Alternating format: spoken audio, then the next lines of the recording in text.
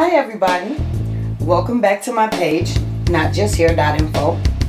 Today I will be showing you, starting to show you um, the steps that you will be taking when you, while you're taking your state board test. First though, I'm going to start out with your attire because you are supposed to wear black pants. I've been told that you can wear a different colored top, but I would say to be on the safe side, just keep it all black. I personally wore black pants, a black top, and my black jacket. Now your jacket I'm going to show you. I don't have black pants on right now, but uh, I'm going to show you only the jacket only because my one of my classmates, she took hers and was actually told that her jacket was too short. So I really was never, I don't remember being told that the jackets had to be a certain length. But I'm going to show you the length of the jacket the, that I had on, which will kind of give you an idea of how long, and mine was fine. So that'll give you an idea of what length to wear. Also, you put your jacket on because they will not even let you inside of the test without it on. Okay, here's my jacket. Um, um, if you can see, it comes uh, about right here on my leg. That makes it So mine comes right here. My One of my uh, classmates was told that hers was like two fingers too short. So I really don't know what that means. I don't know if hers was up a little higher. If they wanted to cover all of your, your you know, past your thigh, your torso area. But this was the length of mine. So make sure that your jacket is at least this long, you know, and it falls on your leg somewhere about mid-thigh. If you see, that's my knee, this, and this kind of ends right there. Okay? So, that is about the size of the space that you will have during the test. So you will not have a very large space. If you remember what the lunchroom tables used to look like when you were in elementary school with the bench attached to it, that's the the way the tables are going to look and you're going to be right next to someone. There's going to be someone on each side of you where you're going to feel like you don't even have room to move your elbows. I personally got lucky and was at the end of the table so I had room on my left side even though I was kind of cramped on my right side. So trust me, your little area that you're going to work in is not going to be much larger than this right here. Okay, so now I'm going to move the table to the side simply so you guys can see what I'm doing and I'm not standing in front of the table. So, first bag you're going to use is your sanitation. Your sanitation bag.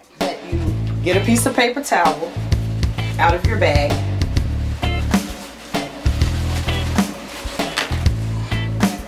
Before you take everything out of your bag, first take out your alcohol as you can see 70% alcohol piece of paper towel dampen it with the alcohol and wipe your table down wipe your space down. This is sanitizing your area that's why this part of the test is called sanitation. Okay? So now your your area is all wiped down. After you get done with that you can kind of lay the paper right there until you get your bags put up. And you have two bags that you're supposed to have. One of my bags I used for um, the towels, the dirty towels. And what I did was tape the, um, you know, find an area that works for you. And I taped the bag, one of the bags, on one side of the table, which was for my garbage. This area is a little cramped because I can't pull the table back, but you, you would have more a little, a little more space. One and the other bag is for your dirty towels. So this would be your second bag. That again, I tape on the side of the table. Depending on if you're, you know, I was on a corner, like I said, which made it a little easier for me to tape my bags. But if you're not on a corner and literally in the middle between two people, you can kind of tape a bag on each side. So there's your bag. Then put your towel out. Now you can actually use a paper towel for this. Make sure it's clean. This one's gotten a little dirty. I don't know why, but you can spread your towel out over your area and still use a paper towel to put on top of that, which is what I did.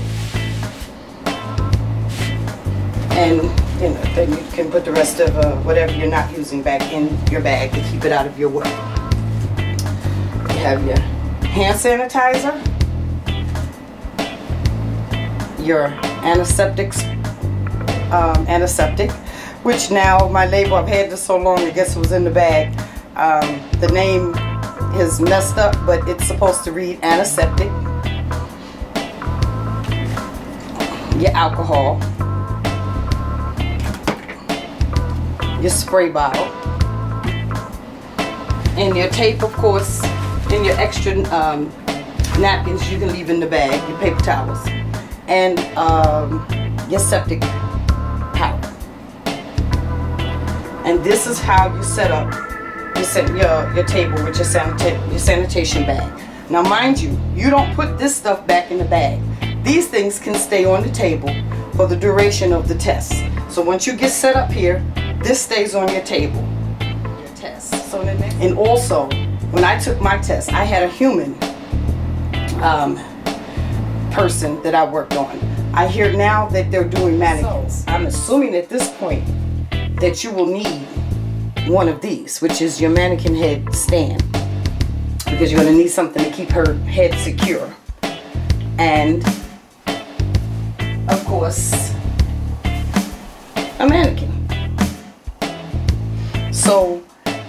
hair is wet right now. but, um, so that was something that is not in my first set of videos when I showed you how to pack your bags.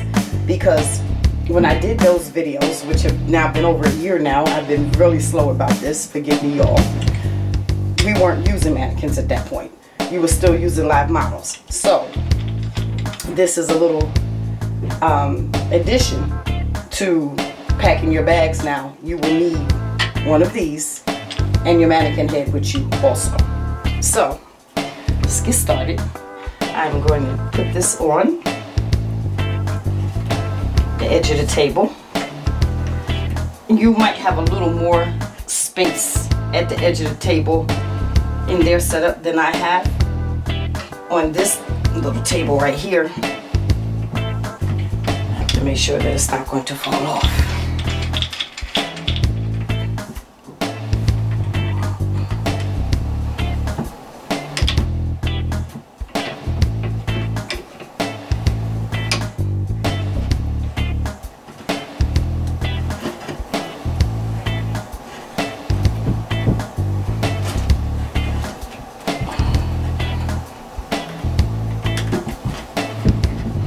So that's pretty tight right there. And your mannequin head. And I am not 100% sure, but I'm pretty sure that this is probably going to be also a part of the first process now that you have a mannequin head because um, when again I did it we had live models and we did set up our tables before they let our models come and sit down. So um, you have to definitely do everything that I showed you in the first set of step as far as wiping the table down, setting up all of your things from bag one. And then I'm sure after you get all that part set up, you'll probably be breaking out your mannequin stand and your mannequin head. Okay, so again, thanks for watching and we'll be back with step two. Take care.